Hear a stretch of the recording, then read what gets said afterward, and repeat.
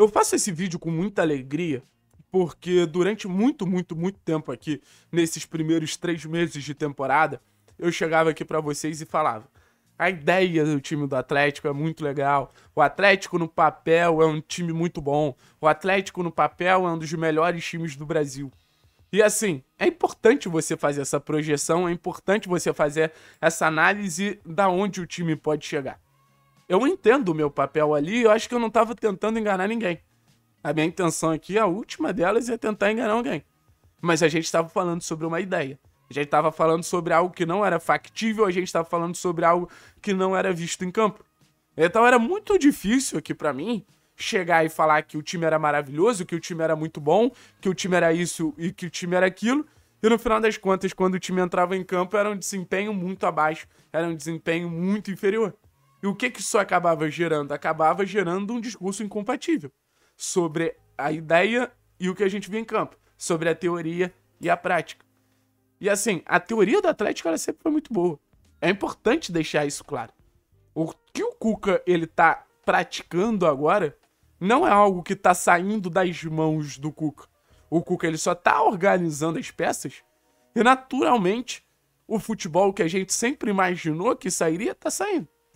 O grande ponto é que a gente tinha um treinador que atrapalhava.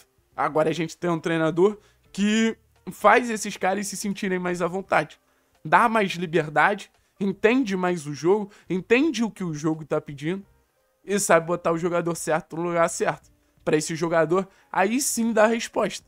O Atlético ele tá deixando de ser essa ideia e o Atlético tá virando algo sólido, tá virando algo concreto. Se você pegar os vídeos da época do Osório, eu falava isso.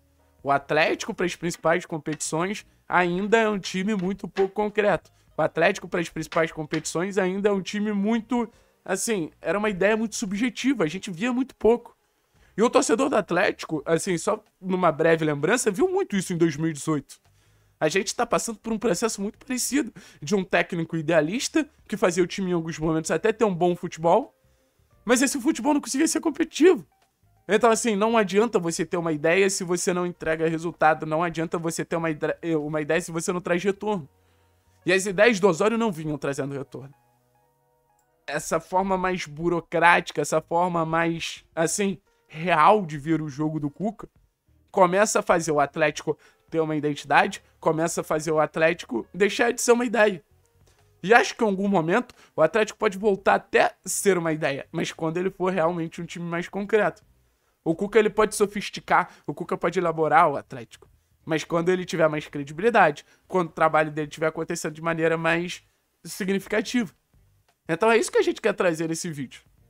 Tá saindo do campo da prática, entrando no campo da teoria. E entrando no campo da teoria, a gente começa a ver, primeiro de tudo, um Atlético se formando em questão de time, dos jogadores saberem o papel deles ali, até por uma definição de time titular. Lembrando que pela primeira vez na temporada a gente repetiu a escalação do jogo anterior. E também questão de comportamentos. E também questão de movimentações, e questão de jogo coletivo, e questão de mecanismos. Algo que a gente nem tinha. O Atlético ele começa a ser um time mais coletivo e eu vou te provar por quê.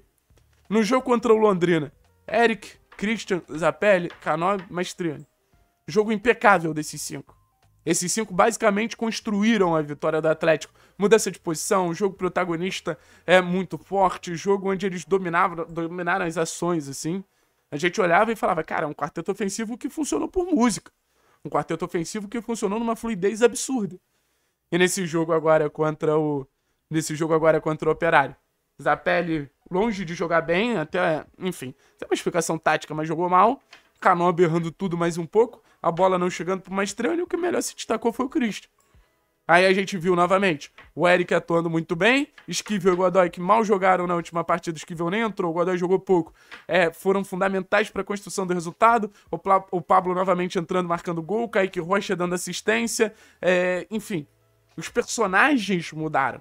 E o que, que isso significa? Isso significa que o Atlético não depende mais de uma nota só. O Atlético não depende de um maestro para fazer as coisas acontecerem.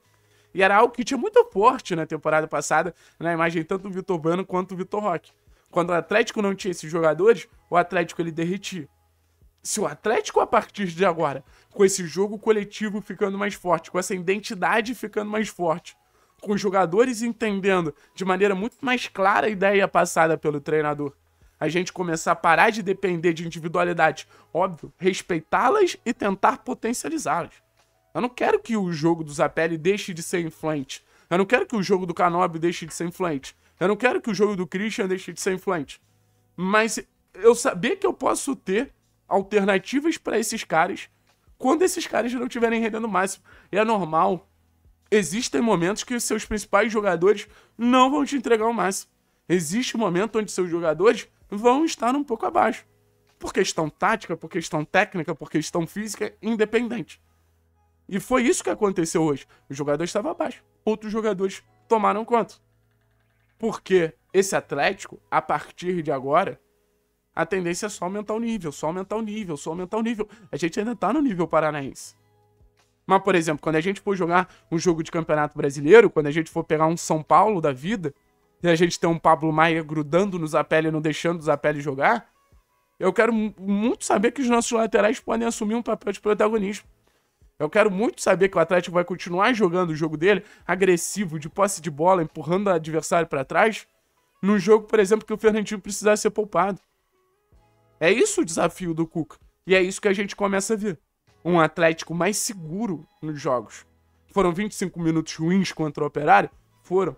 Mas depois a gente foi tomando conta, foi tomando conta, foi tomando conta, foi tomando conta, criando chances, chegando na área adversária, oferecendo uma sensação de perigo constante para o adversário. Porque tem time que tem a bola e essa sensação de perigo ela não é vista, né?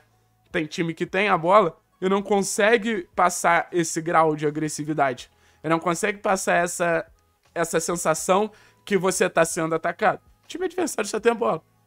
Às vezes tem time que até se sente confortável sendo atacado, por quê? Porque o time adversário sabe o que fazer. É uma posse de bola estéreo. É um jogo que não tem fluidez. É um jogo que não acontece.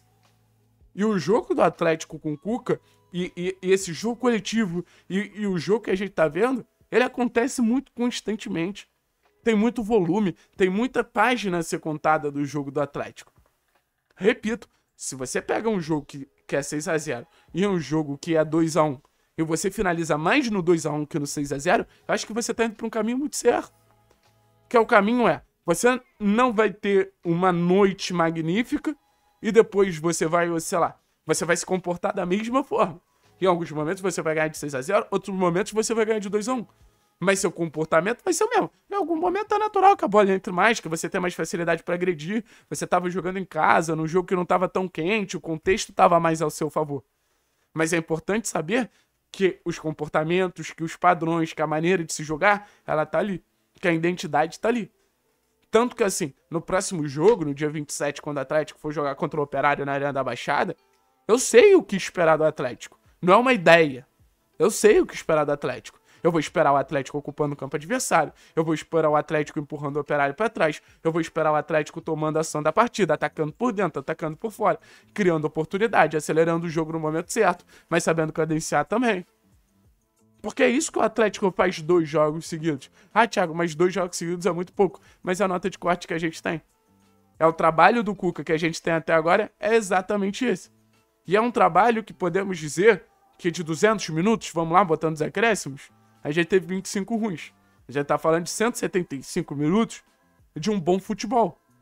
Algum momento ali contra o Londrina também a gente deu uma falhada. Então vamos botar 160, 160 minutos de, de bom futebol. 165. E é isso que a gente quer ver. Quanto mais minutos de bom futebol o Atlético jogar, de controle, de posse, é, do meio campo protagonista, dos laterais aparecendo, dos atacantes em situações de perigo, a gente falou muito, por exemplo, dos gols perdidos hoje por Julimar, do por Canóbio, por Maestriani, mas é isso. Os caras eles têm que estar tá recebendo bola, os caras têm que estar tá perto do gol. Eu prefiro no primeiro momento que os caras até percam gol, porque significa que o time está fazendo essa bola chegar lá. O ideal é que não perca, porque o Atlético ele tá fora da Libertadores também muito por perder muito gol. Mas assim, o volume de jogo é algo que a gente não pode abrir mão. O volume de jogo é algo que a gente não pode negociar. Valeu, pessoal? Tamo junto, é nóis.